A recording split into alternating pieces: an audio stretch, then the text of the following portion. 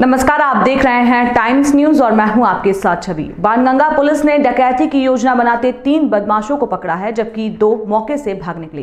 Police के हत्या आए बदमाश पेट्रोल पंप को लूटने की योजना बना रहे थे। पुलिस को आरोपियों के पास से एक दर्जन से अधिक चोरी की मोटरसाइकिल मिली है। फ़िलहाल पुलिस आरोपियों से पूछताछ में जुटी है, जिसमें कई खुलासे की उम्मीद है।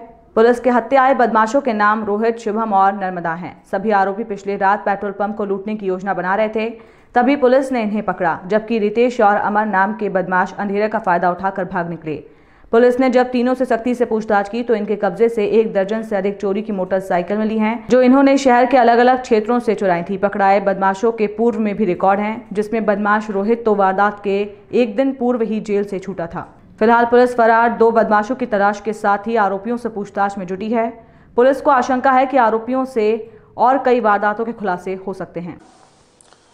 कल 11 तारीख को रात में करीब 11 बजे ऐसी सूचना मिली थी कि कुछ हथियारबंद बदमाश एम आर फोर पे पेट्रोल पंप को लूटने की योजना बना रहे हैं। तो हमारे सब इंस्पेक्टर महेश चौहान और सब इंस्पेक्टर निधि मित्तल।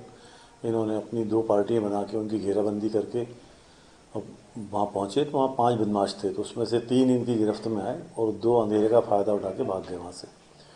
तो तीन जो बदमाश पकड़े गए थे, रोहित, शुभम और नर्मदा, उनको गिरफ़्तार किया गया और तीन सौ निन्यानवे चार सौ दो में उनके खिलाफ कार्रवाई की गई और जो दो बदमाश थे, रितेश और अमर ज्ञानी, ये वहाँ से भाग गए।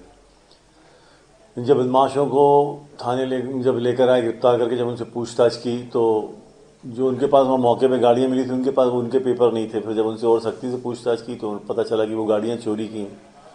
फिर उनका पुलिस रिमांड लिया गया।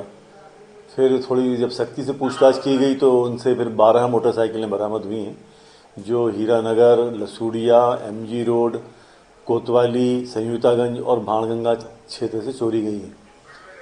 और उनके खिलाफ कार्रवाई की गई। अभी वो सभी लोग दो तीनों आरोपी रिमांड पर हैं। इनको कल जुडिशियल रिमांड पर पेश किया जाएगा। क्या कारण था सर इनका चोरी करने का